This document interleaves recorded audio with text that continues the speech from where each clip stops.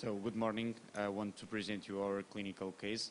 Uh, this is about a male, 56 years old, without any relevant medical or surgical background and without usual uh, medication. He attended to a urology consultation on January 2016 with a PSA 8.1 and he was asymptomatic. At physical examination, he had the digital rectal exam perfectly normal.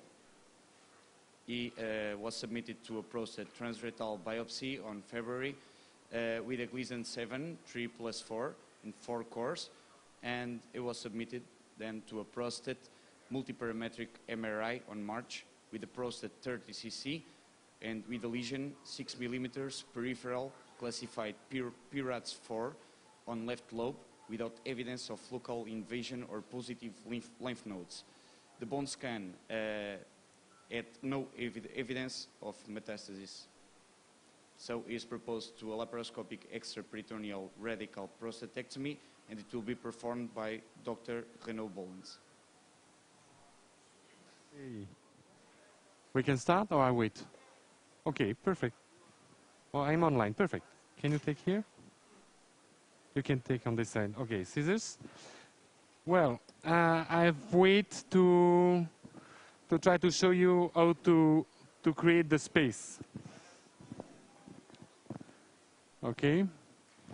As you can see here, I've done a skin incision from the midline to the right side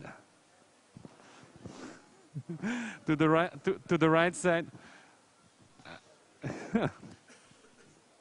well, I say, I repeat because here it's a little bit on the market. Everybody's speaking and it's a little bit low. Okay. You see the midline is here. and incise the skin from the midline to the right side. And I've already catch in the two grasp the anterior layers of the aponeurosis. The idea is to incise that layer to arrive uh, close to the right rectus abdominalis muscle. I just release a little bit just to cut, and then after I show you the next step, a grasp for me, anatomical grasp. Will you please.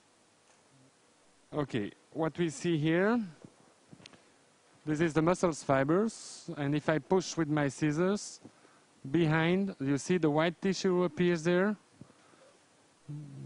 This is the Douglas arch, and I will use the Douglas arch to push my port safely to avoid to enter inside uh, this is where we see very well the Douglas arch now huh? and uh, I will use that uh, structure with strong to enter in the space with my optic. I just want to put one U-shaped suture suture just to ensure the air tightness. We can place a gas uh, high flow. Okay, can you take the camera? Take the camera. Once again, what you see on the screen is um, the Douglas arch that we see very well.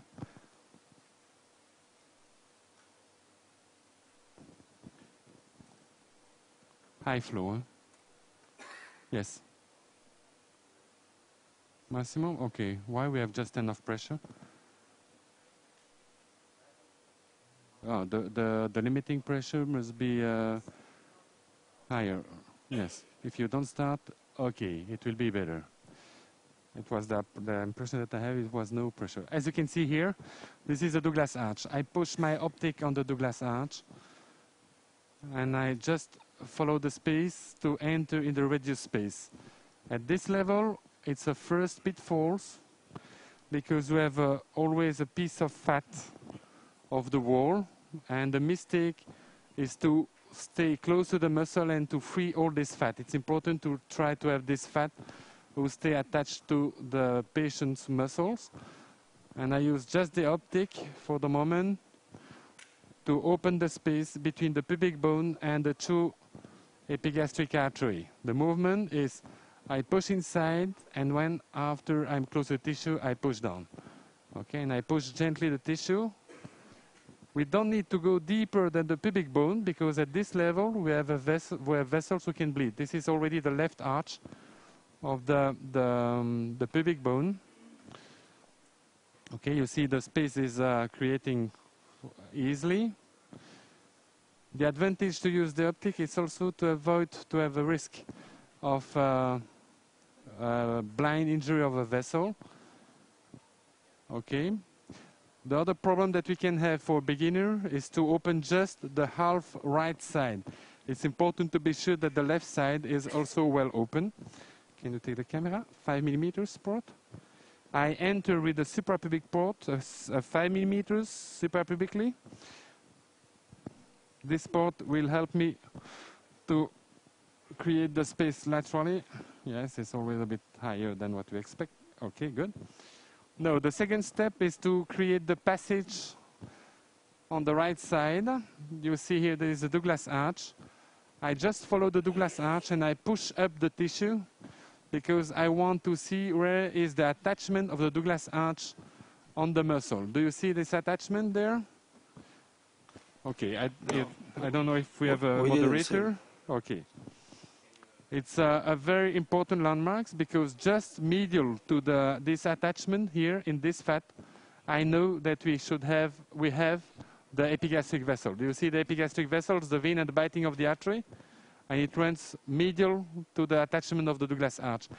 It's for this reason that it's important to locate the attachment of the glass arch is to be sure that we don't free the uh, epigastric vessels from the wall who can bleed uh, nicely because uh, we have all the vessel who goes from the epigastric vessel to the muscle. The bipolar grasp? No, I enter in the super, with the suprapubic, through the suprapubic port my grasp. I have an external landmark. The external landmark is um, the anterior iliac crest. Ah, the tissue is a little bit fibrotic here. Hmm. Okay, the grasp is there. Uh, with my grasp, I just enter under the. Oops, we have a Larsen. Can we see inside? Because we have only the mm, outside vision. Oh my God. Internal vision, please. Is it possible to have the view inside? I explained a lot of things just for nothing. We have, do you have the internal view? Mm. Yes, now, yes. Okay. You have missed all the beginning. this is nice. Well, I repeat. I free the Douglas arch and I locate the attachment of the Douglas arch on the muscle. Because just medial to that, I have the epigastric arteries. Okay? And I must create the space more lateral. And for that I pass just under the Douglas arch to create a space in the Bogros space. You see that? I can enter my camera inside, and now with just lateral traction and pushing down, normally I will open the space more lateral than the, the epigastric vessel. I need this access to enter my ports laterally enough to have enough triangulation. Okay, and I just use the camera for that. Okay, that's it. What we see here, this is the reflection of the peritoneum in the inguinal ring. I just want to increase a bit the window where the port will pass. And now I can use this grasp to lift up the epigastric. The epigastric is just here. I lift up the epigastric and it gives me an advantage because from outside, can you take the camera, Raquel? Yes. The anterior, the anterior we need to clean the lens. uh. Okay, the anterior crest, it's here. Okay, and I lift up with my grasp, and I can feel that the tip of my grasp arrive at this level. Anterior crest, the tip of my grasp is here.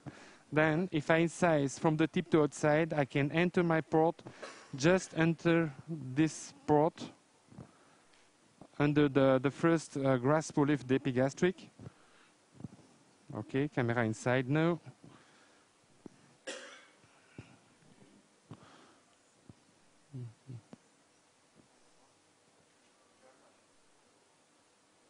No, it was better on the other side. Strange, but that's like that. We need to clean the lens. Okay, can you take here? I lift up my grasp and I will enter just under parallel to the other one. I try to show you better. Please show us the endoscopic view again. There, there you go. Good. You don't have the endoscopic view. now we do, now we do. Renaud, this is Evangelos Liatsikos. Can I ask you something? Do you ever use the balloon to, dis- to dissect this extraperitoneal space? Uh, do, do you use what? The balloon for the extra peritoneal No, never. It, It's, ex- is it an economical reason or? it's economical, it's not faster, and it's more dangerous. This is my point of view, and I think that uh, if you don't need, I think that it's uh, not necessary to use. Also, the balloon, finally, you just open the space, but you don't use the knowledge of the anatomy. And I think that the big advantage of the technique that I use is uh, just to use the, the knowledge of the anatomy. It makes the life more easy. And finally, it's not so difficult if you know the, the small tips and tricks of the technique. And what I do with the suprapubic catheter, uh, with the suprapubic port, I just lift up the tissue and I push down the, the, the peritoneum away. I just open my eyes to see where the plane wants to be opened. You see, this is the peritoneum. And if I follow, I will find the muscle soon. The muscle is there. Okay, I just lift up and push down, and then with the camera, we can give a third direction of traction. Okay, third direction of traction, and you see that very quickly we have exactly the window that we need. With the suprapubic catheter uh, grasp, I can lift up the epigastric vessel just to protect the epigastric vessel. I hope to give you a better vision now. Okay, the epigastric vessel is in this tissue. I just lift up, and with the external view, with the external, I can feel the tip of my grasp. I incise from the tip to outside, and I enter my port parallel to the other one, just under. And normally the tip should arrive just in the window that I dissect. You see that? It's the manner to avoid to injure the epigastric or the peritoneum. Then the last port is uh, the most dangerous because uh, its place is located close to the, the epigastric artery. And it's the reason why I always enter my optic on the right side because I know that the Douglas arch are attached medially. And if I pass to the left, I have uh, uh, uh, a dead angle on this side. Okay, and I cannot control the bleeding. Can you take the camera? The knife for me? Yes, and the last five.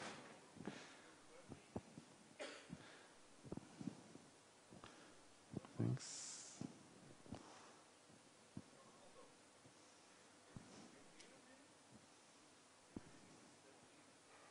Okay, camera inside. I push the port more deep to be deeper than the Douglas arch. Do you see the space that we have here? For the moment, the patient has zero degree of Trendelenburg.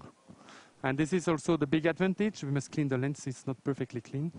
It's also the big advantage, not with a cold one, I want to have hot water and a dry. It's a big advantage because we don't need so acute Trendelenburg position. I think it should be interesting to show the Trendelenburg position in my neighbor. Probably the head of the patients are in the floor, on the floor. But the advantage with the acute Trendelenburg position for the surgeon is also to minimize the venous bleeding. But I need uh, some Trendelenburg a little bit here. I have the table lower and um, Ren- Renaud, uh, Trendelenburg a little bit, yes. Yes? what do you do if for some reason there is some uh, leak into the peritoneum when you have the bowel, the peritoneum pushing your, uh, let's say, your decreasing your extraperitoneal space and coming towards you? Is there Yeah. any trick you do for that? Yes, of course. Uh, may I have the Trendelenburg? Yes, and table down, lower as possible. Yes, in fact, the the a little bit more. Yeah, okay, and down. Yeah, and um, the no, the trick is um, the first thing is you cannot have the peritoneum under pressure, because if you have a pneumoperitoneum under pressure, the space disappears completely. Then, if you have that situation, the best is to open largely the peritoneum to have the same pressure on both sides. And the second, I can use, I use usually the suprapubic port to retract the peritoneum if it's happened. I think that clearly for obese patient, the extraperitoneal approach is much better. Well, recognize already the endopelvic fascia on this side. I want to try to be drier as possible with all the, the small bleeding. The first thing that I do is to open a bit more the space laterally along the iliac vessels. Oh, movement, we are close to the nerve there. I have a small hernia here in the um, obturatory fossa. Attention for this big vein. You see that? No, it's a very big one, huh? Special model just for today. Yeah, it's just a big vein. But it's interesting because maybe the dorsal vein will be not at the usual place.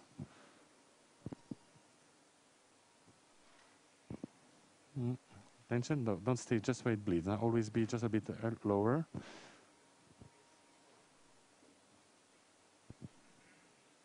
Well, when I defat, when I want to defat the, the tissue, I found the endopelvic fascia and I push medially the fat. Okay, it's to try to have a, a, a nice view on the prostate. Attention here, we have another vein. Okay, can you stretch down here with the section? Yes, perfect. It's a small prostate. This is a good news for me. And I push medially the fat until that I arrive on the on ligament.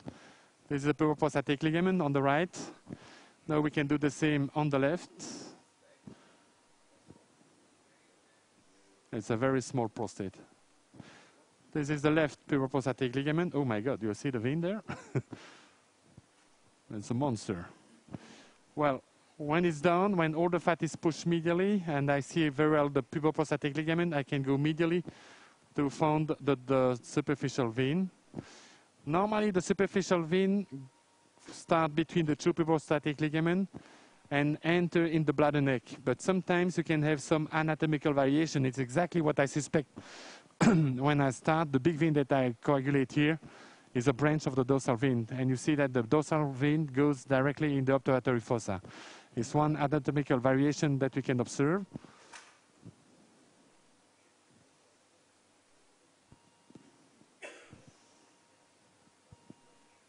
Okay.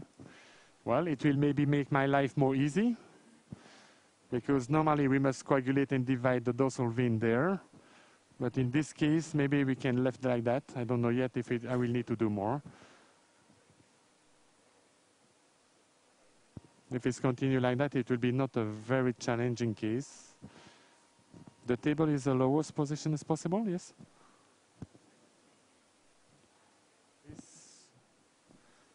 Well, now we must start with the dissection. Uh, I do something different because I know that the, normally people open first the, endopelvic fascia and then they put a stitch. I don't like to do that because sometimes you have a bleeding there that we cannot control very well and then after the dissection of the bladder neck it bleeds Uh, during the, the dissection and I think that it's more easy to start for the extraperitoneal approach with um, the, um, the, the bladder neck directly. If you can see to locate the bladder neck, two tricks. The first is to look the fibers who come from both puboprostatic ligament and who makes like a V just at the bladder neck. For me, the bladder neck is here. This is the first possibility. The second possibility is to mobilize the catheter, not with just traction, because when you just put traction, as you can see, everything moves.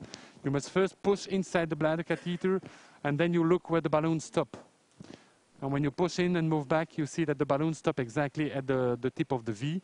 And for me, it's, uh, it's uh, evident that the bladder is there. Another remark, where it's everything are in the detail in this kind of surgery. Uh, it's important to don't fill more than 10 milliliters the, the balloon, because if you have a, a balloon of uh, the catheter with too filled, too, too full, you, you have the risk of uh, entering directly in the bladder neck. Also, be careful to don't have tension on the bag because with the tension, the balloon is uh, pushing on the, the prostate and then it's more difficult to pass. Okay, what I do, I, it's important to consider that it will be always more easy to dissect the right side of the prostate due to the position of the scissors than the left. It's important to know the, the, the leak point of the procedure to try to compensate this fact is the reason why the right side is always done first. For the first part, I want just to open this part which is located uh, anteriorly to the urethra. And for that, I take the bladder, I verticalize to give tension, and my assistant will follow, no, you follow my, my uh, scissors with the suction, okay?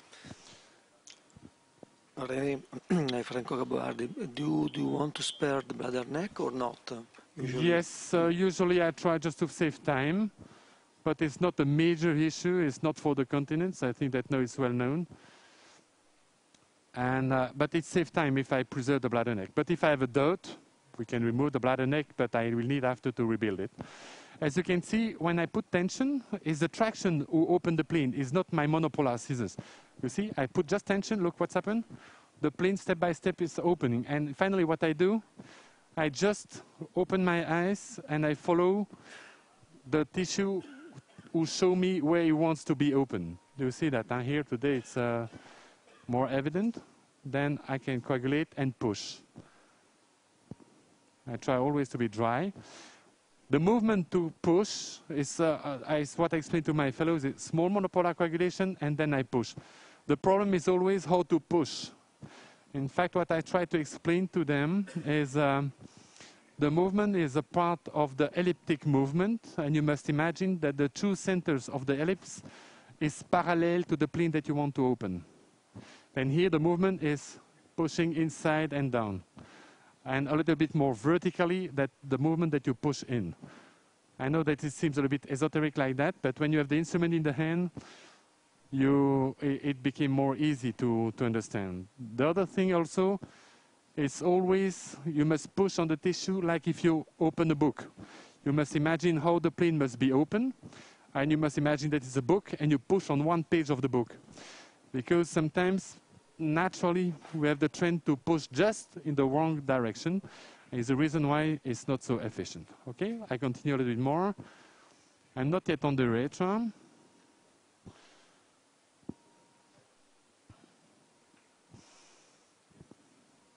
The urethra appears here normally. I'm surprised because I expect to be already in the urethra for 30 grams of prostate. Yes, this is the fibers of the urethra. That's here. Do you see that? The vertical fibers. I something who bleeds from the bladder. Can you check here? Yeah, clean it here.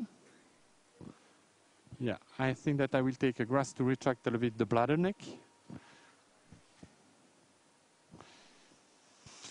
Well, when we arrive at the level of the urethra with the traction on the bladder, it's not possible to be efficient on the tissue that I want to dissect. Section. Then I will need now to deplace my hand to open the space on both sides of the urethra. Section just here.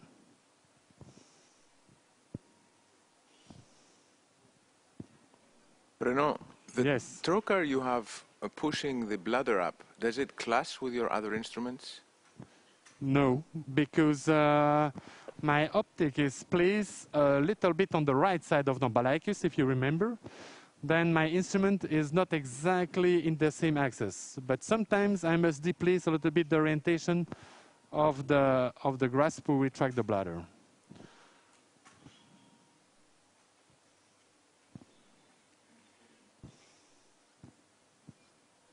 It's bleed a little bit on the corner, yeah. Okay, release is a vein that we stretch probably with the tension. Okay, section here.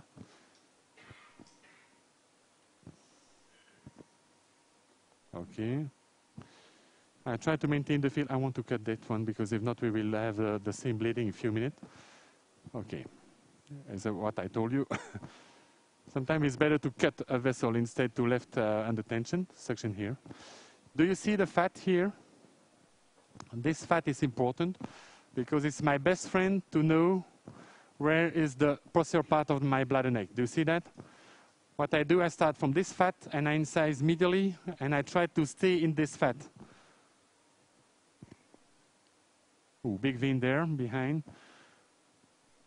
It's a little bit the maneuver that Richard will do, but he does the same without the anterior dissection. He jumps directly at this level. It's uh, very interesting, but I think that if you have a bleeding there, is probably the only one who is able to, to manage that problem there. Okay, what we see here is already a seminal vesicle, the right one. Today the case uh, seems to be nice for me. Okay, I will not touch more, but this one is already the seminal vesicle uh, and the vas deferens. Now we can go on the other side. And I know that particularly when the prostate is big, sometimes it's not so easy to arrive on the good plane as I've done on the, the other side, but it doesn't matter. I have a good landmarks on the left. If I cannot find the seminal vesicle on this side, the goal is just to pass behind the urethra to prepare the section of the urethra. Okay. I just dissect with my grasp to free a little bit the posterior part of the urethra. I don't push too much because usually when I start with my grasp here, I, I, don't, I, I push my, the tip of my grasp between the capsules and the prostate and the adenoma. Uh, is maybe the reason why it's bleed a little bit here. Okay. Now we have a good vision. Don't sleep like that, Cipri. Okay. We have a good vision on the urethra. It's time to cut the urethra. Okay, you see that? Then I cut the urethra. You have the long fibers of the urethra here. The mistake is to try to preserve the long stump of the bladder of the urethra. If you do that, you have an over-continent bladder, and then during all the surgery, the bladder became full, and you will be in trouble. Okay, section here. I just cut the fibers. Uh, no, don't pull with the suction. I don't want that because you have a risk to destroy. And now, when the anterior part is down, I go in direction of the prostate to lat open laterally to try to preserve the bladder. Reduce the tension with the grasp. It's a bit too tense. Okay, we can remove the catheter.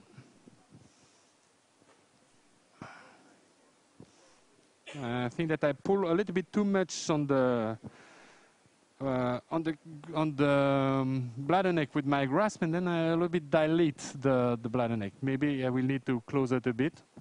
Yeah, it's exactly what I believe. You remember the passage that I done, that I did before, is to make my life more easy now. Well, bladder neck, well, it will be necessary to close out a bit. Okay, but there's a matter. Section here. What I do now, I restart from the place where I know that I was normally on the good place, and I just free from here the posterior attachment of the bladder neck.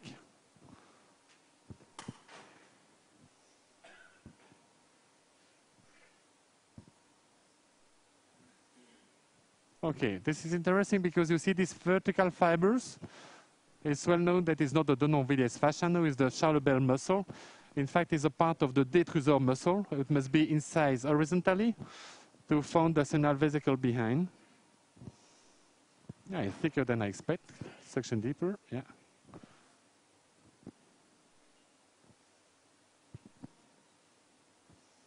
Stretch down.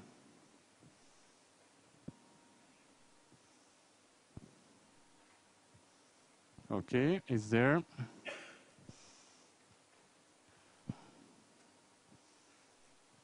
We see already section here. The, the vas deferens, I free completely the fibers have a good access on the seminal vesicles are located a little bit more laterally.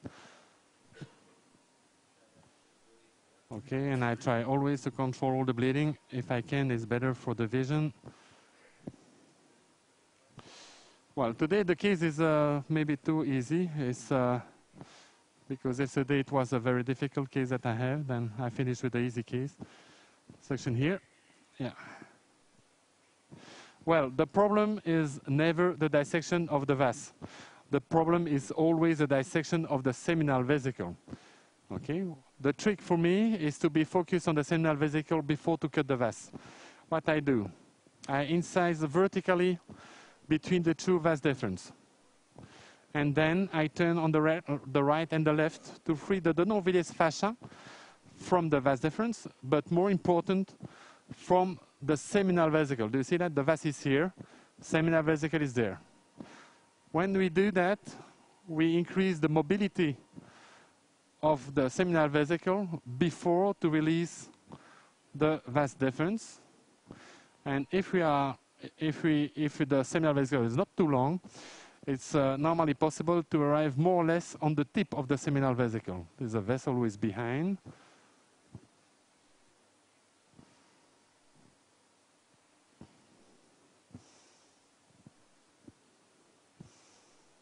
Okay, now I can go anteriorly. When you go anteriorly, it's also important to remember that the biggest pedicle that we have between the vas and the seminal vesicle run just at this level. It's also the reason why I say always to my fellows, be careful when you arrive there, it can bleed. The second thing also, if you dissect at this level, you finish to release completely the vas from the seminal vesicle. Okay, is uh, the key is to stay posteriorly. Yeah.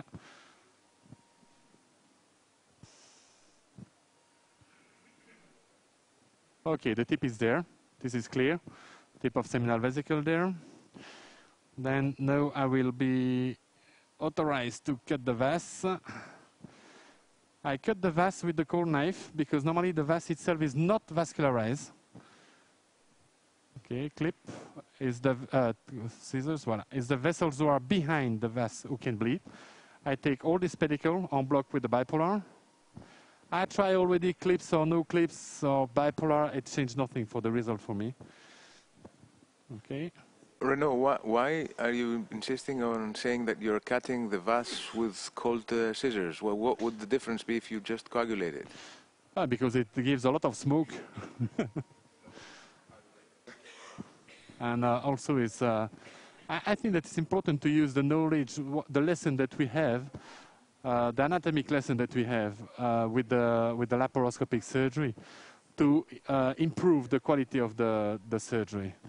And if you don't need to coagulate, because of course we, we can pass everything to, to the fire, but if it's not mandatory, I think that is maybe better to avoid.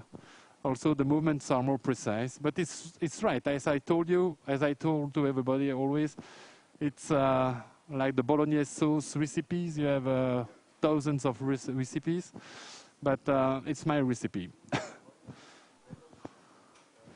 Well, here uh, probably I, I, cannot show you exactly what I want because uh, unfortunately I have already controlled the, dorsal, the, the, the, apex of the seminal vesicle. Normally you have uh, a pedicle on the tip of the seminal vesicle and probably when I coagulate the pedicle before to cut the vas, I have already controlled that pedicle.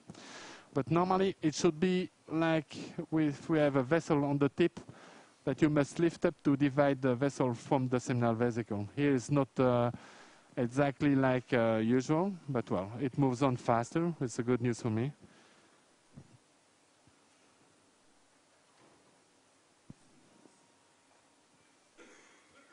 Now I pull. Also, a very important thing, it's important to pull the seminal vesicle out.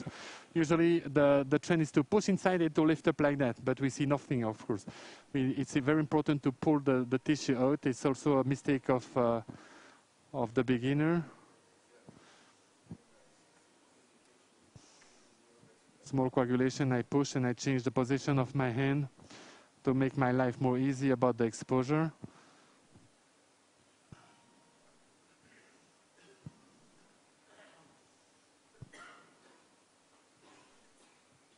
Sometimes we have a vessel here, but it seems to be not significant today.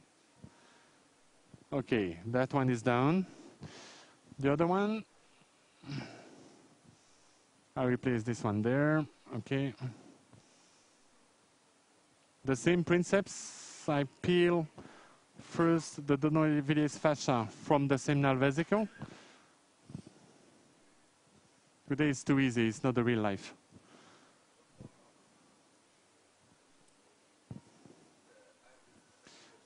And as I told you on this side, be careful because of the vessel, exactly what I say before.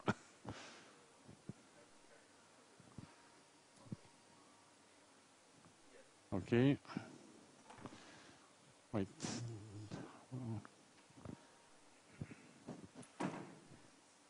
Okay. I can cut the vas. Just after I have the pedicle which must be coagulated.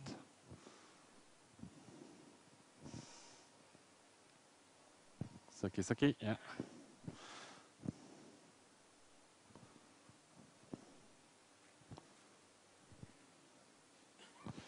Well, here maybe I will show you the, the vessels on the tip because I arrive a little bit more higher, or the seminal vesicle seems a little bit longer. Yes, it's much longer. Okay.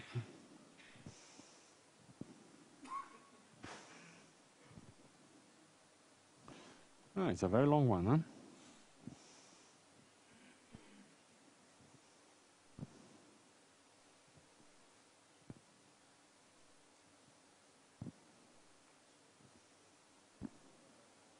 Replay section here. Rene, what do you think about the sparing of the tip of the seminal vesicle in order to improve uh, the potency? Good question. Uh, well, I don't know. It's like the fashion. It was uh, the point of discussion years ago. I think that it was maybe more an answer about the technical problem of the dissection of the tip than a real uh, discussion about functions. Of course, more you preserve, more you have a chance to have a functioning better improvement. But I think that you must also put in balance the risk of uh, specific complication that you create. And I remember one patient uh, with the seminal vesicle still in place, and uh, he developed a nice, uh, huge cyst of the tip of the seminal vesicle, and it was a mess after to treat him because he was symptomatic. And it's always the same. Huh? When it works well, why not? But we cannot be sure that you will not create some specific problem, who can be a, a nightmare after. Well, I don't know how many people know continue to preserve the tip of the seminal vesicle, but I think that it disappeared from the from the Congress. Huh? I, I don't know. Do you know somebody? Uh, Sometimes in patient with a very long seminal vesicle, it's very difficult uh, with the central approach like your to spare the nerve that are the tip. And so if you left uh, a little bit of the tip, uh, I believe is better for the potency. But um, depend of the patient. In this, uh, in this case, uh, the seminal vesicle are not too Ah. big. And so I think it's You good know- uh, what you do. Well, uh, uh, first of all, in all my life, I just think if it's right, but in all my life, I never preserved the tip of, I had never need to preserve the tip of the seminal vesicle because it was not feasible. This is the first. The, the second, uh, the, the trick, I think, of course, if you go very large around the seminal vesicle, you have more risk to destroy the, the, the nerves, and maybe it's a, an advantage with the extraperitoneal approach because we don't incise largely the peritoneum. We can clean the lens. We don't incise largely the Douglas pouch to have an access on the seminal vesicle.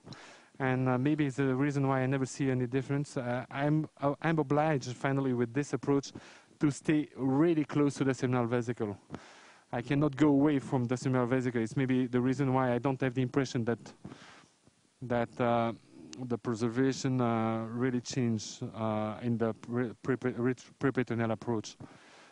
And uh, not outside.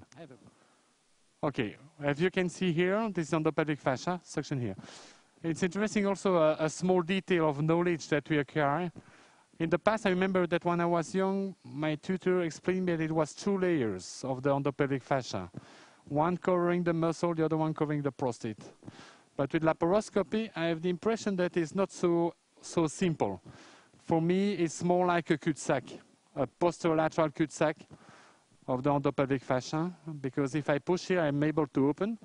And in this space, posterolaterally, I never have a vessel who pass from the prostate to the, the, the muscle. But when I try to push higher, here I can push really strongly. It's very hard to, to open that space. And finally, I have another vision, it's uh, more just the muscles fibers. But what I do know, I cut from this to the external part of the periprostatic ligament vertically because I don't preserve the periprostatic ligament. But I must be careful because just behind here, somewhere, I have the vessel, this one is here, who pass from the muscle to the prostate. And I know that at this level, I must be careful. Well, these vessels is always there, I think. Huh? We can say always, we can never say always, but in my experience, you can expect that in uh, 90% of case.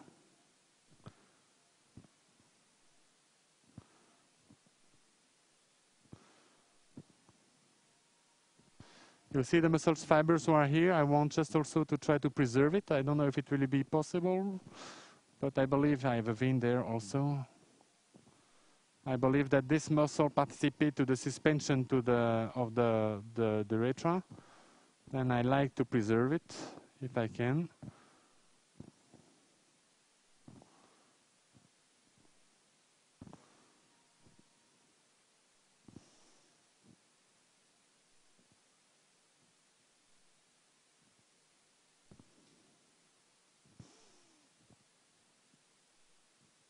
Push up the fiber.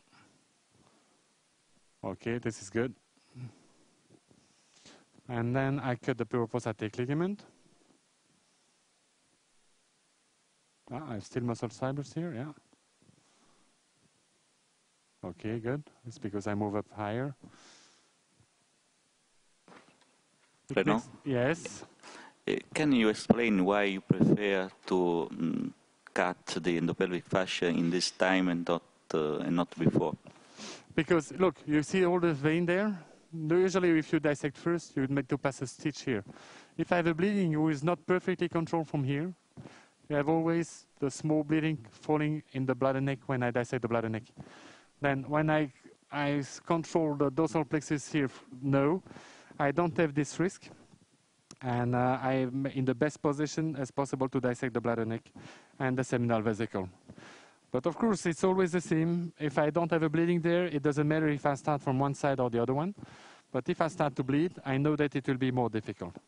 It's also a general rule in laparoscopy. Uh, usually, it's more important to start with the, the, the part of the dissection which is in the lowest part of the breathing field um, to have a, a better control and a logical approach of the dissection is always the lowest part for me. Huh? But one more time is uh, my recipe. But finally, the problem is uh, I, I do that after reflection, but many people just repeat the, what they see and they never think about that maybe it's not the more logical things. Big vein here will enter inside the, the apex.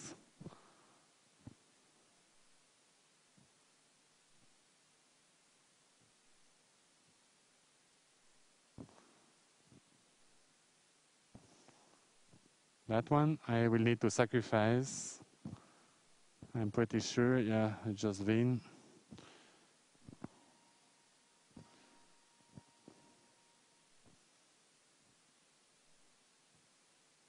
And the muscles fibers here, as in the other side. René, do you cut uh, the puboprostatic ligament? Someone prefer to spare uh, the puboprostatic ligament. What is the reason for, for this cutting? Because you have mm, uh, more view in the in the stitch when you pass the stitch. Yeah, I, mm. I, I prefer to move it because I have the impression that I have a, a better vision on the apex when I cut the apex. When I tie to the with the puboprostatic ligament in place, you have like a kind of retraction of the of the the puboprostatic ligament are tied together, and the apex is moving is moving up. And then when you need to cut the tissue, you have less space. And it's my impression. The second point is always a question about the stability of the urethra. But for me, the key problem of the uh, stability of the urethra is not the anterior one, the anterior part, because the anterior part is still fixed. Huh? Remember that we have the suspensory ligament of the penis on the other side, the last one at least. And uh, finally, I think that the mobility of the urethra concerns more the posterior part of the urethra. And I've already tried to preserve the, the puboprostatic ligament in the past, in, the early experience in the, at the end of the 90s but I don't feel that it gives a real improvement of the, the continence. As I say always, if you need a double-blind study with uh, 2,000 cases to prove that something is uh, working, is not a good uh, technique. I think that uh, if you have really found something interesting, it's the nurses who must tell you that they see the difference when they remove the bladder catheter and not a long study with uh, 1,000 cases just to prove that you have uh, 2% of significance of improvement uh, of the continence.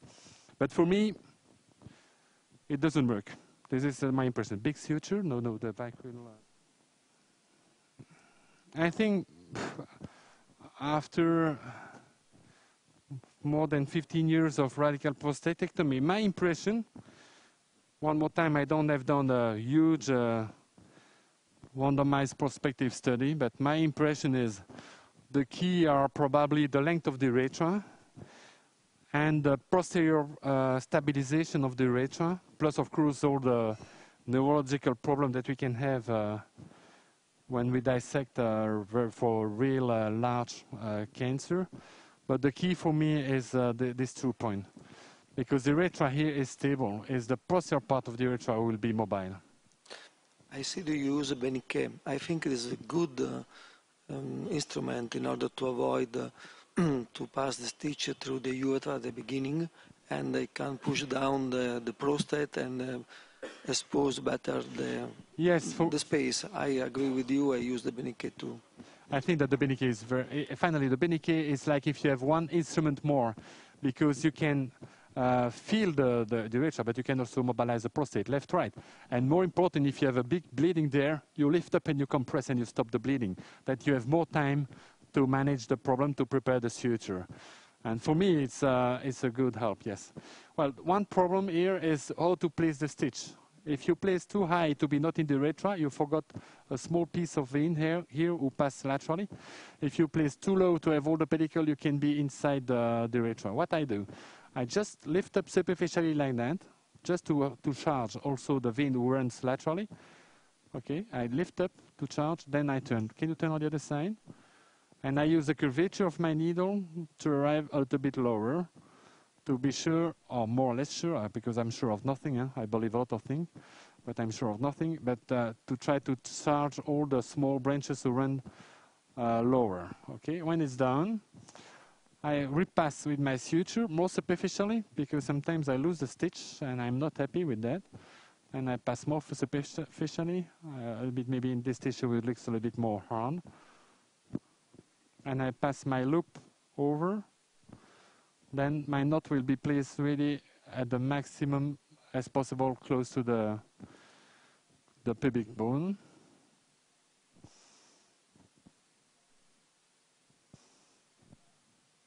Uh, I've cut with my suture the dorsal vein. This is not a good idea. Yes, exactly. I need to repass for that reason. I hope that I will be not in trouble. You see what I told you before? When it's bleed from the dorsal plexus, but it's exactly like that. And I'm not sure that it will be possible to control that perfectly. It will be maybe continues to bleed like that a little bit. Wait, yes, a good movement, this stretch. Maybe I will need to put a separate stitch for that. And hmm, probably will stay not perfect because it should be a small collateral branch of the dorsal vein was uh, big. It's still perfused, probably, and it can be my chance, because if it's still perfused, probably the bleeding will stop alone. If it's completely tight, it's under pressure, it's continuing to bleed. Okay. Down. Well, at this level, we have three planes. Okay. It's important to, to know that because if not, sometimes you will be in the good one, sometimes not in the good one. Stretch down. The plane that I want to find is the plane between the Dodon fascia and the prostate. Okay, I just give small coagulation, I push down and I hope to enter in the good plane.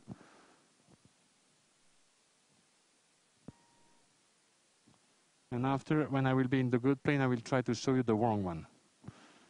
Section here. Hmm, I have released a seminal vesicle. It's not the bipolar that I use normally, but well. Okay, this is the Denonvilliers fascia, and you see that I start the plane section here.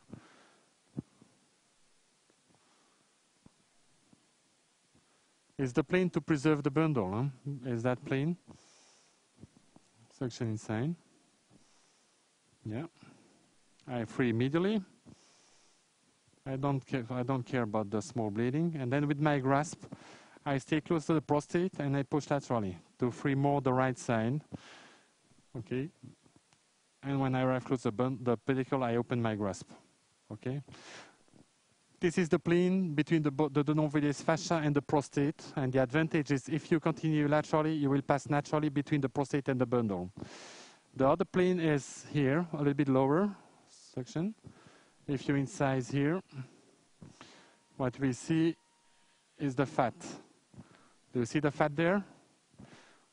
I suppose yes. This is the fat of the perirectal fat. It's the plane that we follow if we want to don't preserve the bundle and we want to do an enlarged radical prostatectomy. We incise here, we pass in the fat, and we cut uh, the pedicle very low.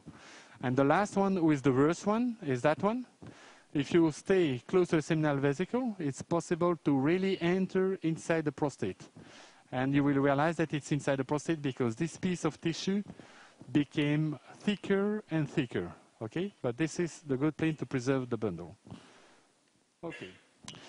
Two possibilities to dissect. The first is to do like in robotic, is to try to dissect already uh, the, the, the bundle laterally. But for me, when we do that, maybe we increase the tension on the bundle and we delay the recovery.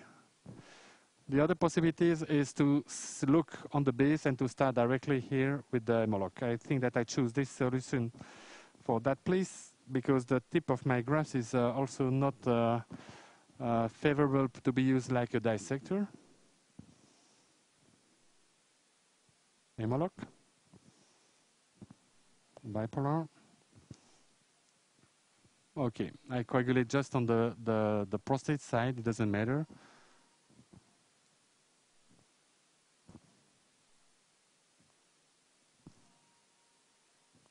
Okay, don't push too much, it's okay. Hem-o-lok? Yeah, before it was uh, more or less a dry operating field. When we arrive at the bundle, it's always more red because we cannot coagulate too much and it's better to accept small bleeding because the patient expect to be potent after the surgery. No, the, don't push laterally. It's always vertical traction and sucky sucky.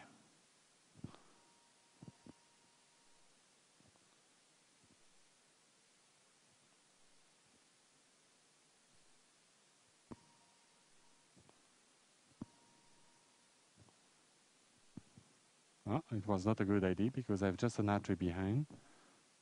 Yes, is that one? That one I will coagulate gently up on the tip. Okay.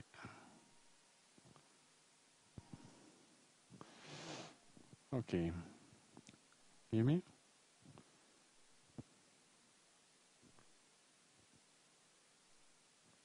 Action like that, yes, and suction.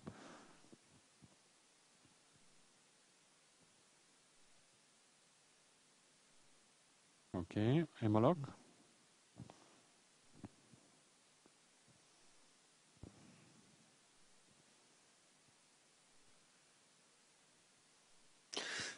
René, so do you find the plane medially to laterally uh, go to the lateral part of the prostate in order to spare the bundle? This is uh, your your way. What is my way? This is a good question. I, I, I preserve only what the prostate accepts to give me, but I just try to find the, the, the plane along the prostate. In this case, I don't try to go laterally. I just follow the uh, posterior part of the prostate. You need to clean a little bit more. It's a bit red. Yeah, one more Hem-o-lok. I want to detach the, the pedicle, and after I should find the plane between the adenome, the, the prostate and the bundle itself. And I just close my clip close to the prostate uh, limit. I'm happy, I'm lucky today because the prostate is not very big, but it's uh, enough hard to feel that I'm close to the prostate.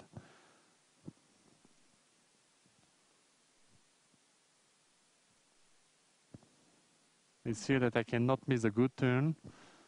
If I miss a good turn, I can miss also the bundle. Or I can enter in the prostate capsules. This is also the other possibility, Hem-o-lok.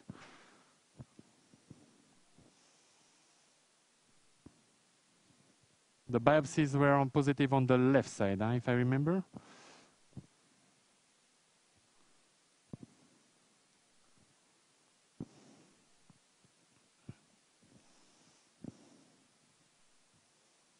When I arrive more at the level of the, the apex, we must remove the Béniqué because the Béniqué rigidify the prostate. Okay.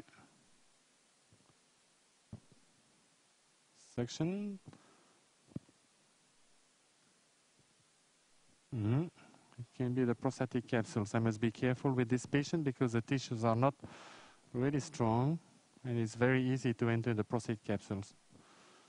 I think that this is the Denonvilliers fascia. If it's the Denonvilliers fascia, this is a part of the capsules. Okay. No, not push, the push down. Ah, one more Hem-o-lok. I still need to put one Hem-o-lok there. And after, I think that it will be enough. You find a very nice place, but sometime on the lateral part of the prostate there is some big vein and um, it's very difficult to close it with the Hem-o-lok. Do you use a small clip, uh, um, metallic clip of a 5 millimeter that is helpful in this way? Uh, in fact, I think that with laparoscopy, at least, it's very hard to control that vein. But it doesn't matter. You can cut the vein, it bleeds, but when you close the space, it stops to bleed. And uh, I think that the only thing was very important, you can remove the Béniqué, I told you. You don't have hear me. Okay. The, the most important is to control the arterial bleeding.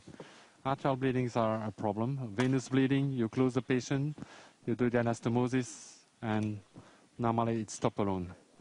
It's important to be not obsessed about the bleeding, because if we are obsessed about the bleeding, we finish to sacrifice nerves. I just, I'm just feel concerned about the arterial flow. Here the plane is not so clear. You must be careful to don't enter in the prostate capsules.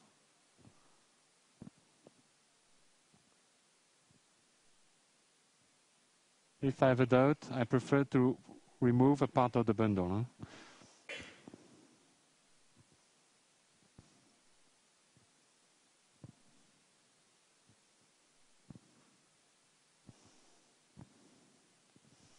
As you can see also, I try to minimize the tension on the bundle itself.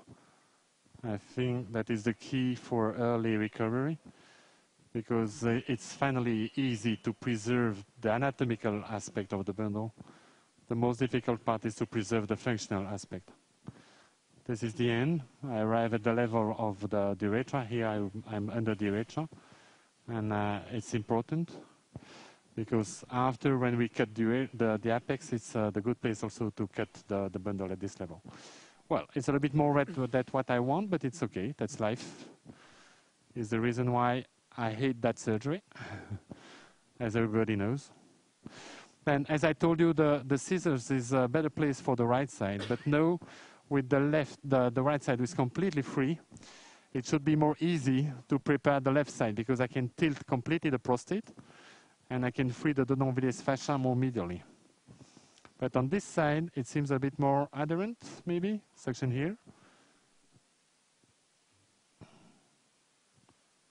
The, the patient is still in erection, partially at least. You told me, you can answer me that it's uh, half erection because I have dissected half part of the bundle. It's right. I have some liquid, so comes outside the tissue there and I feel that I'm in the good plane, that, well, it's maybe inflammation. Okay, Hem-o-lok. So radical prostatectomy is better than Viagra. then, then Viagra. No, uh, yes, uh, you, it's not completely false. For one reason, I think that uh, in some case we can have a transitory improvement of the potency because we ligate the dorsal plexus. And uh, with the ligation of the dorsal plexus, we, we can maybe help patients who had uh, previously uh, venous leakage. But it's something that, uh, that is more evident in the Millin. When uh, I perform laparoscopic Millin, it's happened that the patient told me that the potency became better, at least just after the surgery for the first months. And my explanation is the fact that I ligate the dorsal plexus.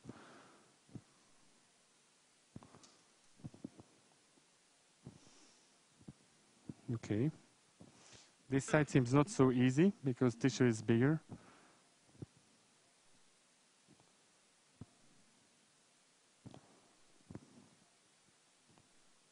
I use uh, the clip L. I think that the L for that is uh, maybe better than the XL because uh, we have more problem to lock the, the XL clip on the tissue than comparing with the L. This is my impression. I don't know if you have the same feeling. Yeah, I agree with you. Sometimes with the Hem-o-lok it's very difficult in uh, fatty patient to close the the clip. And uh, Okay, Hem-o-lok. A problem that nobody speak about the Hem-o-lok huh, is the risk of migration of the clip. I have patients who, who, with the clips who arrive inside the bladder. Do you have already that kind of patient? Or I'm the only one in the world? One more time. I have had, this evangelist, I've had three patients with migration in the bladder. Yeah, yeah, you see. Huh? And where I had done a perfect anastomosis and uh, very few clips on the sides, and I was amazed. It happens, yes. Yeah, it's it's uh, it's astonished me also because I never put clips uh, close to the apex, and I believe that I was protected against that kind of story. But it seems that when we do the anastomosis, the clip moves, the pedicle moves down, and the clips follow the movement and arrive finally not so far from the pedicle, from the from the the anastomosis. Okay, Hem-o-lok. Well, for the moment it seems not bad. It's a bit red for demonstration, but that's live. But at least the most important will be the final functional result. And you will see normally that when the bladder will be attached, the bleeding will stop alone. I hope. Okay, give me one second. You're not enough active for the moment because we have a lot of clot. Maybe we can rinse a little bit more. Yeah.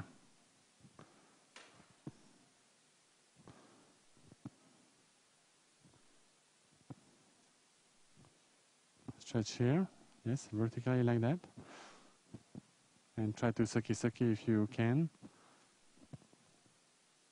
I cut and I push with the tip of my scissors. huh?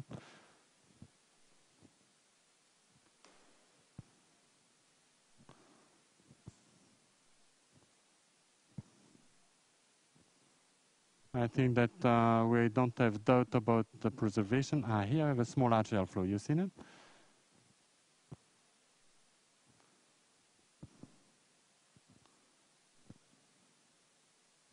Now it's already stopped, more or less. On this side, I have a lot of big veins. Uh, suction uh, here, it's okay. Vein first. And stretch down here. Okay, can you pass under here? Yes, good. Yeah, it's a big vein on the prostate side, which is open.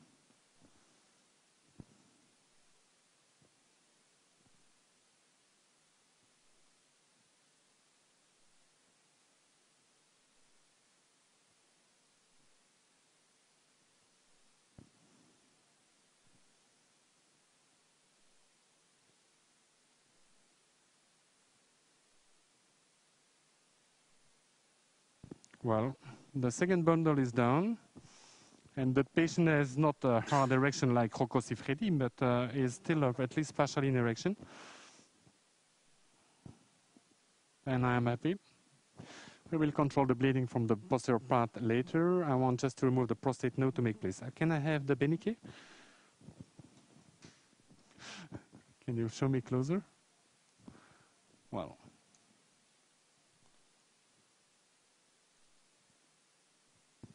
dorsal plexus. Oh, nice. The stitches uh, goes away. Yeah. Uh, we need another suture because, uh, as you can see, the tissue is slide outside the, the tissue.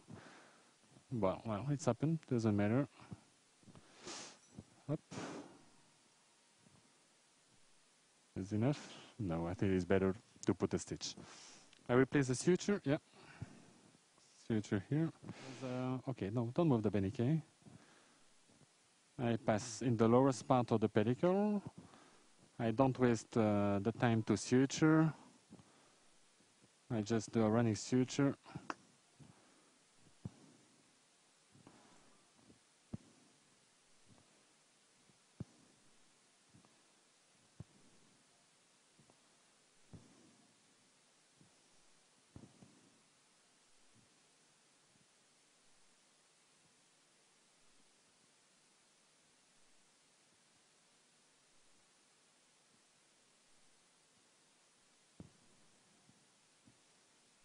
Okay, I think that now it's enough.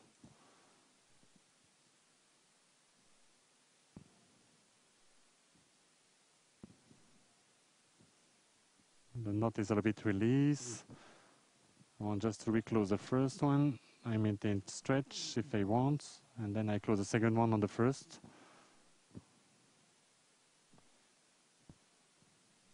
Is it possible, the, the water is open, I'd like to rinse, no, no, in the section, section uh, irrigation in the, um,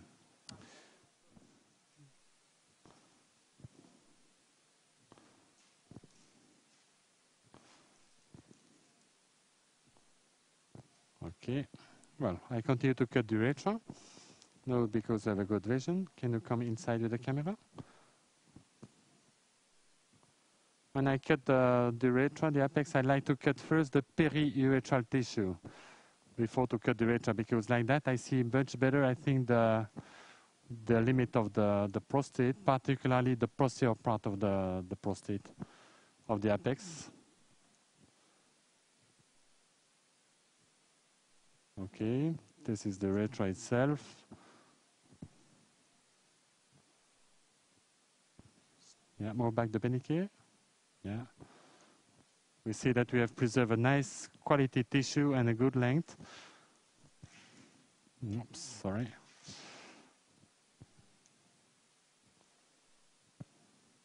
But what's happened usually is when we finish to cut, the urethra seems to go back. Well, the bag, sacchetto. Okay. Well, of course, uh, now it's well known how to manage the prostate. We just put the prostate in the bag, and then uh, we pull the string of the bag outside laterally uh, to a port.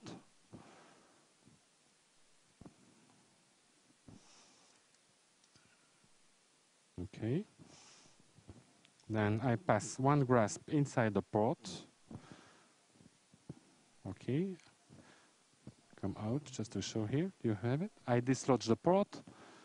I take the string, I replace the port, and I pull on the string. And normally the bag will arrive uh, beside the. Uh, the hole is a bit small. I maybe need to remove more. Okay, and I have the, the, the grasp still inside to, to drive the port. And now the, the bag is uh, laterally placed to the port. The space is completely free for the anastomosis, and you see the prostate is there, and my port is still free. Okay? Well, we can check if it bleeds too much or not. For me, it's not really dramatic. Not. Okay. What well, what I do know is a suspension, is a, rock, is a modification of the Rocco technique. I think that for me, the Rocco technique, the theory is very good because it's sure that the mobility of the posterior part of the urethra is the key of the incontinence. Then uh, what I do, I use the, the, the, the arcus tendineus of the levator ani muscle to pass a knot here and then posteriorly to the urethra between the, wait once again, no stay right, stay this direction. I need to catch the tissue between the prostate section here down, stretch down, and sake sake. I'm not inside the urethra, I'm between the, the urethra and the bundle. And it, will pull inside and stabilize inside uh, the, the urethra, the posterior plate of the urethra. And for me, it's, uh, I believe, stronger attachment than the, the, the rebuilding of the Rocco stitch.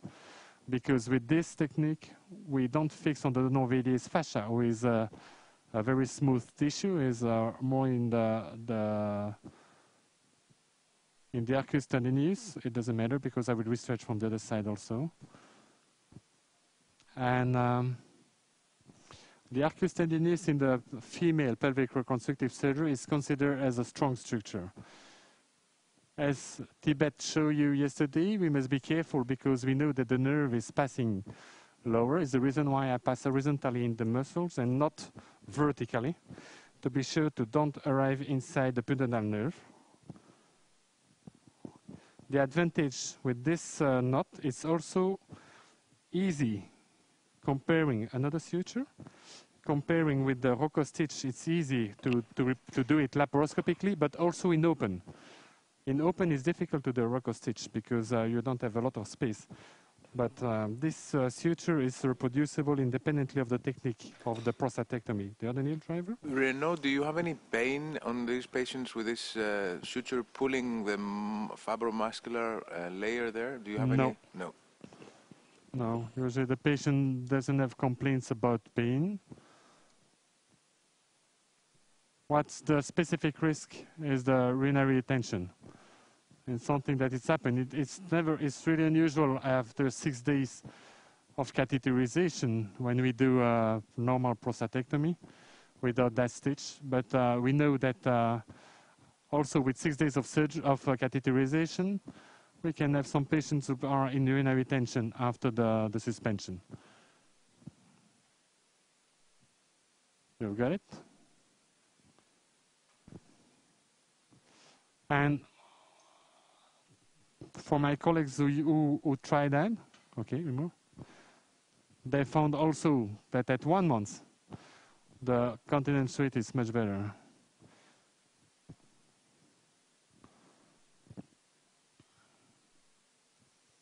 And as you can see at the beginning, before that I put the stitch, the anterior part of the urethra was long, but it was the posterior part who was short because it was sliding inside the inside the, the muscle wall.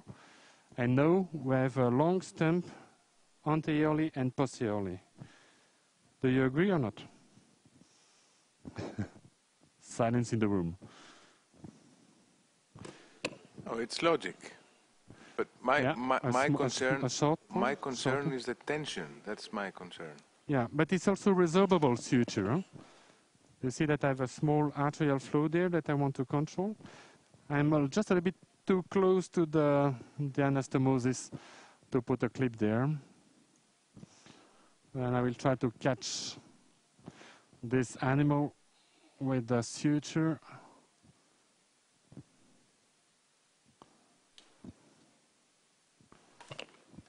Renaud, Yes? Alberto, just a question.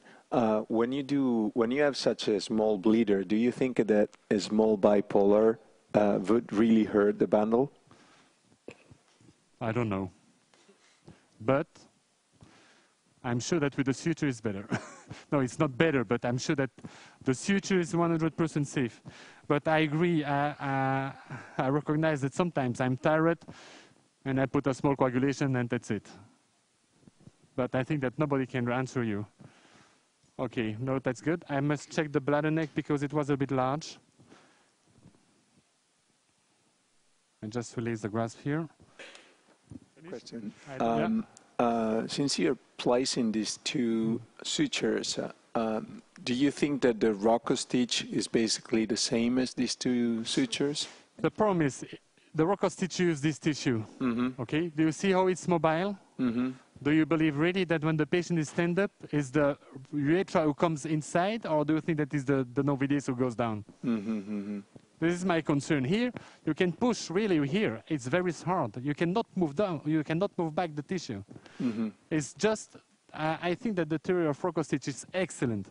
Maybe it's the biggest improvement during the, the last 10 years uh, concerning the continence. But the, the manner to treat, for me, seems not maybe the most efficient. But I, I cannot prove that. Huh? It's just, it seems for me to be logical that if you want to have a good anchorage. You must have a, a good uh, a good place to fix the anchorage. If it's mobile, don't, we know that it will be better than nothing, but maybe it's not the optimum part. It's a little bit like if you want to do a promontofixation and you will fix the mesh and the tissue is not very strong. Mm. No? Yeah. Mm, It, it makes sense, but I cannot prove it. right. But I hope that uh, we have a lot of uh, big scientists in the room, and I hope that at least one of them will try that. We do a, put a, to, to publish a paper, and I will not forget that it was me who showed him the technique. But well,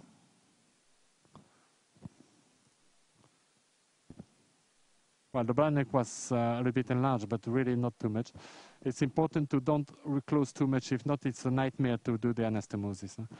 I think that I will stop here because I don't want to fight after to find where is the bladder neck exactly. Well, the surgery will be finished normally soon. I, I have uh, maybe 20 minutes. It will be done. The most difficult part is finished. Is the dissection.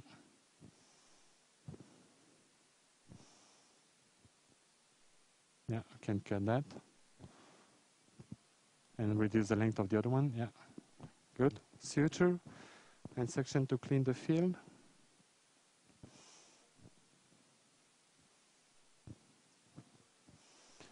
Okay, no the anastomosis. Um, uh, I use uh, a simple vehicle tool as like like in home at home. I know that um, the um, the suture, the barbed suture can help you, can help people, but I try to be more with the technique that it's available everywhere. Oh, the mattress is not far away. Renaud, Yes. just a question, a general question. I mean, the need for the Rocco stitch came in robotic surgery, uh, and because of the big inclination they had, the Trendelenburg that they had to do, so there was a, a, a huge tension when they were pulling down the anastomosis. Now, when when you're doing laparoscopy, and especially what I've seen with you, that you have such a small inclination, such a small Trendelenburg on the patient, and do you really think that this suture reduces the tension now? I mean, what tension? Do you think it's not coming down easily, or No, no, no, no, no, no, no, no, no, no, no. The the Rocco stitch is not just to make my life more easy for the anastomosis. This is nothing. This is really nothing. The the most important uh, with the Rocco stitch for me is to stabilize the urethra after the surgery. To don't have the urethra who enter inside the the, the muscles of the perineum. Is never for the surgery itself. Uh, Maybe they have this idea first and then they remark after that it was better for the continence. We can reduce the pressure. The pneumoperitoneum, please reduce at 10. 10, yeah. And open the valve to have 10 because I have still 12. Okay. Okay.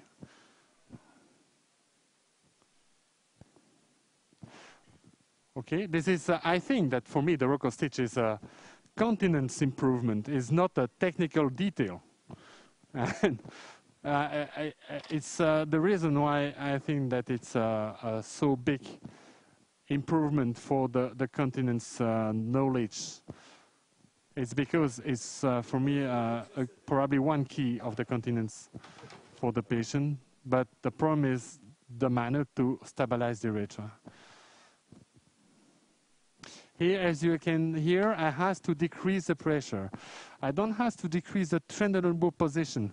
And it's important to notice that because the problem with the extraperitoneal approach can be the tension on the anastomosis. It's not due to the Trendelenburg is more limited, but it's due to the pressure inside the peritoneal space who push back the, the, the who push back the, the peritoneum and the bladder.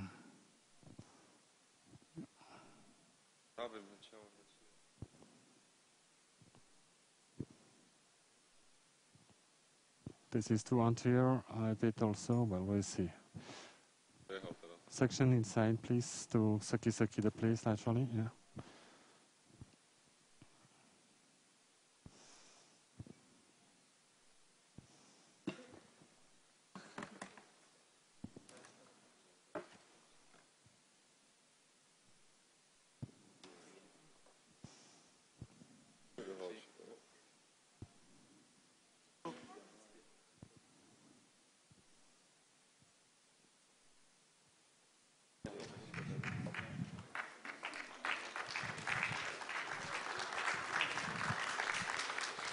Ah, I hear that somebody has finished.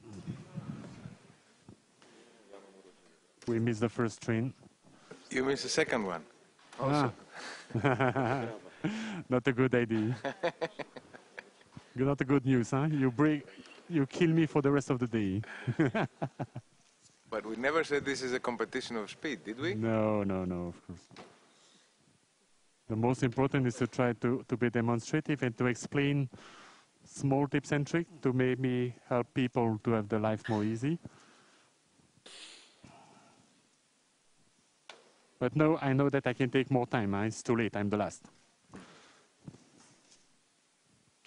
Do you always do the reconstruction on the posterior side? Do you? No, I, I mean, no, here it was because it was a bit too large. I No. did a mistake. I put a small tension, excess of tension uh, during the, the, the, incision of the, the bladder neck.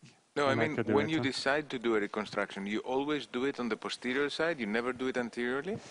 No, the, the reconstruction of the urethra, no, because for me the mobilization of the urethra concerned more the anterior part, never the, the posterior part, not the anterior one. The anterior one is still fixed. Here it's well fixed at this level between the with the suspensory ligament. The problem is the posterior one that we is more mobile, uh, and not suture. it's more mobile posteriorly. Uh, for me, the um, the problem is that way. I have already tried in the past to, to fix the to fix the, the, the anterior one to rebuild the suspension to replace the, the ligament who were cut or uh, I have already preserved the ligament but I'd never see a real difference.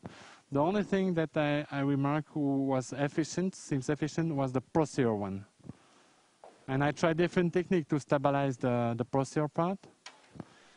But I think that this one is the most uh, reproducible and the most efficient because I try also to use the Cooper ligament, but the angle of the Cooper ligament are not good.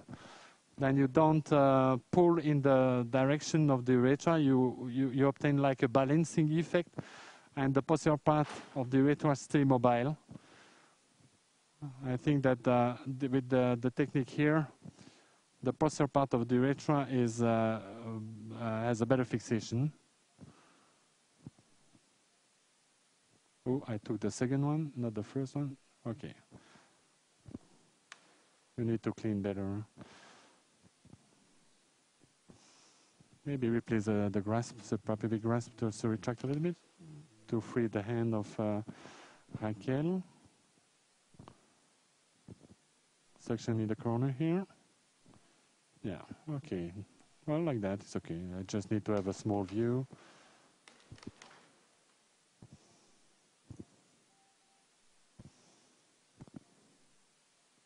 Remove the section once again. Yes. Not in the muscles fibers, I prefer. It's not exactly the needle that I use. Usually I prefer the CT2 is uh, stronger. This one is a SH, so uh, it can be more easy to destroy the needle. You never use the five eight. The you are five. The, you know the. No. You don't I- like it. I don't have the impression that it helps me because usually the 5.8 uh, is uh, too small. The curvature is maybe better, but you cannot load so easily in one shot the tissue like here. You see, I load the tissue, the bladder, and I push the tip of my needle inside, and I turn the needle just to see where it's come out, and I push the needle parallel to the urethra, and it's like the ski on the snow. The tip of the needle appears, but you can do that only if you have a, a, a length of needle long enough. If it's uh, 5.8, it's difficult to do that. You, the, I think that the 5.8 needle is a good suture for an expert because you must uh, really respect the curvature of the needle, is not so uh, important here. And um, I always try to have a technique who is uh, as possible reproducible because uh, I have uh, fellows who try to do the same. And I always tell to them, don't try to use uh, the needle as an expert because it's very difficult to do. I don't know if I've chose, if I choose the good moment. No, maybe I will need to put one more uh, transversally before too tight because if not, I will have a small anterior racket who will be not completely closed. This one is better.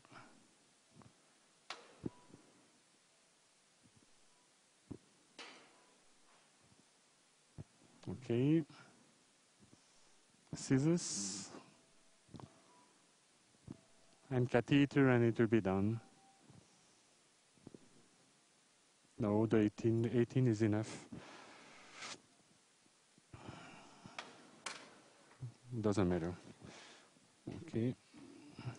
That's it. No, no, second needle driver. No, no, free. I have the, you had the two needles on the table. Okay.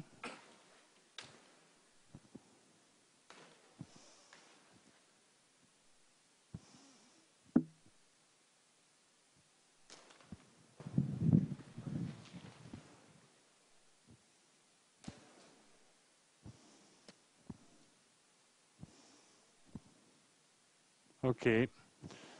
We can remove the Béniqué and you can put the catheter. Yeah. Okay. Then, okay, move back, remove. Can you take the bag to avoid the loose? I check, as I told you before, then I received the catheter. I test the water tightness. It's not for my self-satisfaction because sometimes it's uh, watertight no and it will be not when, the, when you want to remove the catheter. But it's just because if you have a big leakage, you know that the catheter is not inside the bladder but through the anastomosis. We can connect. May I have a drain? The Blake, or the, yes, the, the Jackson-Pratt, this one. The grasp.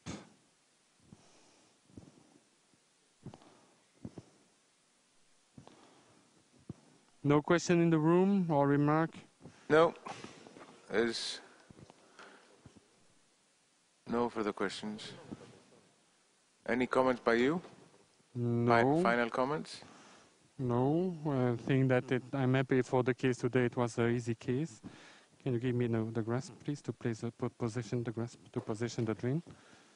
It was an easy case. Uh, the prostate is uh, independently of the technique, but also with the robot, uh, difficult surgery. You cannot believe that because you have a robot, the life is so easy.